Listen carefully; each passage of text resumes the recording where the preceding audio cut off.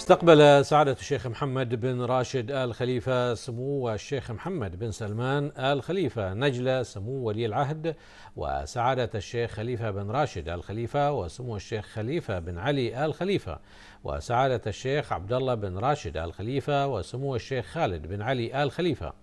وذلك خلال حفل افتتاح أطول نفق زجاجي هوائي للقفز الحر المغلق في العالم.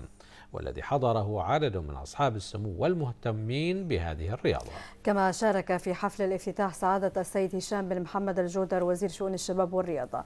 وخلال الحفل أكد سعادة الشيخ محمد بن راشد الخليفة على ضرورة دعم المشاريع التي تسهم في تنشيط الحركة السياحية في مملكة البحرين وإتاحة المجال لمختلف الهواء والمهتمين بمختلف المجالات خاصة الرياضية لممارسة نشاطاتهم. لما لذلك من تأثير إيجابي على تنشئة الأفراد والمجتمعات بشكل عام. معربا عن شكره وتقديره للقيادة الرشيدة لما تقدمه من دعم لمختلف المجالات.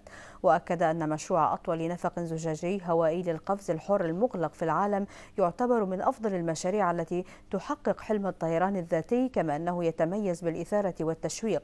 مشيرا إلى أن المشروع الذي يعتبر فريدا من نوعه يتميز بعوامل جذب وتشويق حيث تبلغ سرعة الرياح بداخله 290 كيلومترا في الساعة. ويبلغ ارتفاعه 12 مترا وعرضه أكثر من أربعة أمتار.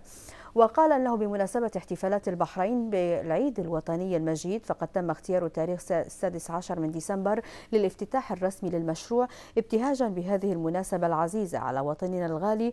وكان الحفل قد بدأ بكلمة ألقاها السيد ميتشل لوسون مدير المشروع توجه فيها بخالص الشكر والتقدير إلى صاحب السمو الملكي الأمير خليفة بن سلمان الخليفة رئيس الوزراء الموقر على دعمه الدائم للمشروع من البداية وحتى اكتماله. توجه بالشكر إلى سعادة الشيخ محمد بن راشد الخليفة مؤكدا أن النفق الهوائي يعد الأطول في العالم للتحليق في الفضاء في الأماكن المغلقة.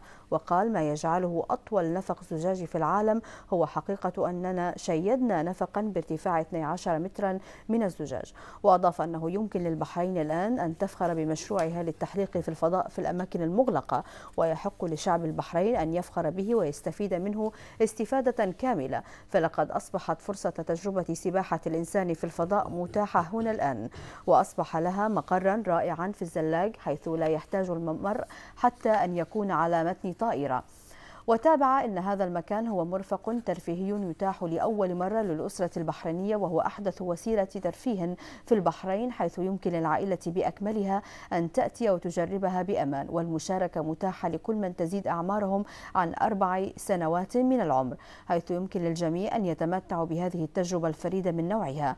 تجدر الإشارة إلى أن هذا المشروع يتيح المجال لمختلف الأعمار للمشاركة والاستماع فضلا عن الهواة وذوي الخبرة. مع وجود مدربين متخصصين سيقومون بتعليم الزوار وتدريبهم على كيفية التحلي ويضم المشروع العديد من الخدمات كالمطاعم والمقاهي بالإضافة إلى قاعة مناسبات متعددة الاستخدام.